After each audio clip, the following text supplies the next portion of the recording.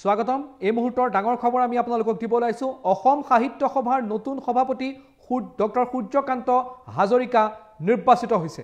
এই মুহূৰ্তৰ big breaking news Assam সাহিত্য সভাৰ যি নিৰ্বাচন অনুষ্ঠিত অনুষ্ঠিত হৈছিল সেই নিৰ্বাচনত ফলাফল আহিছে। অসম সাহিত্য সভাৰ নিৰ্বাচনৰ ফলাফল ঘোষণা কৰা হৈছে আৰু নতুন সভাপতি হিচাপে নিৰ্বাচিত হৈছে ডক্টৰ সূৰ্যকান্ত হাজৰিকা। এই মুহূৰ্তৰ এটা গুৰুত্বপূৰ্ণ খবৰ আমি আপোনালোকক জনাই আছোঁ। অসম সাহিত্য সভাৰ নতুন সভাপতি ডক্টৰ সূৰ্যকান্ত হাজৰিকা উপসভাপতি নিৰ্বাচিত হৈছে গিৰীশ সন্দিকৈ। গিৰীশ সন্দিকৈ নিৰ্বাচিত হৈছে উপসভাপতি। সম্পাদকৰ পদত বিজয়ী হৈছে উপেন্দ্ৰজিৎ শৰ্মা। ডাঙৰ খবৰ তিনিশ পঁয়ত্ৰিছটা ভোট লাভ কৰিছে সভাপতি হিচাপে নিৰ্বাচিত হোৱা ডক্টৰ সূৰ্যকান্ত হাজৰিকাই।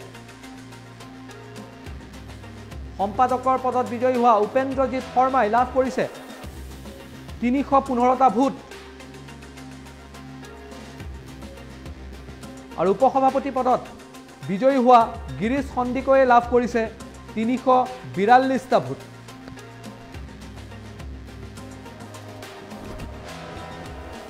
এই মুহূৰ্তৰ এটা ডাঙৰ খবৰ আমি আপোনালোকক জনাই আছোঁ। অসম সাহিত্য সভাৰ নিৰ্বাচনৰ ফলাফল আৰু ডক্টৰ সূৰ্যকান্ত হাজৰিকা নিৰ্বাচিত হৈছে অসম সাহিত্য সভাৰ নতুন সভাপতি।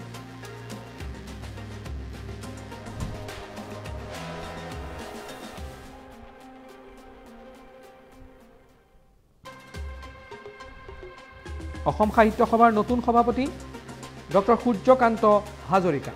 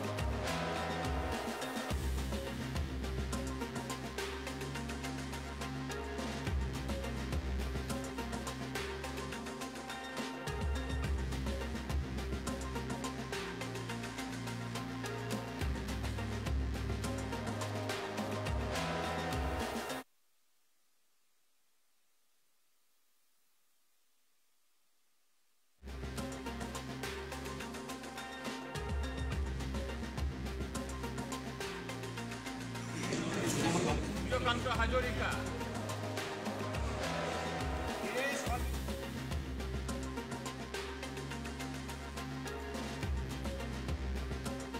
সভাপতি গিৰীশ সন্দিকৈ যাদৱ চন্দ্ৰ শৰ্মা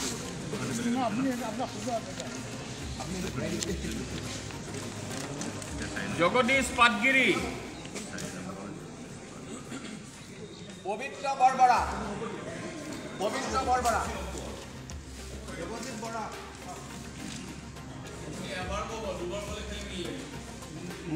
এবাৰে ক'ব। এটা ৰাউণ্ডহে যাব ৰাউণ্ড